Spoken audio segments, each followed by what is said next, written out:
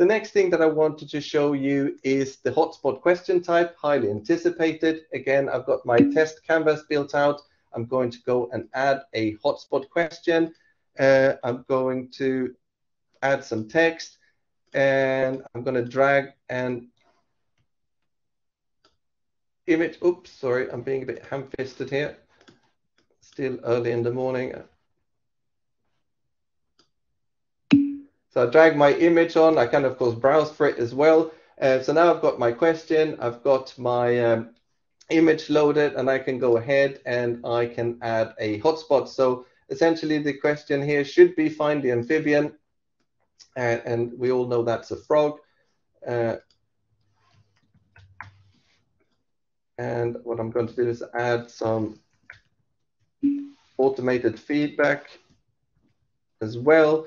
And if I go ahead and save that, and again, I'm going to exit the quiz. I'm going to go into student preview. And again, it is a development server, so it's running slightly slowly here. Go into the, the quiz. As you can see, it will load with the hotspot question. Um, I get warned that this is a big image. It's a long one, so I need to scroll to see in, in its entirety.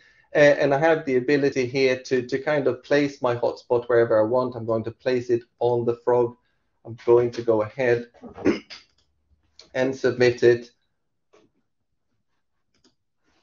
Close the dialog box. And if I go in and view my attempt, you can see that I scored the correct answer. I did select the frog and I am getting the correct feedback.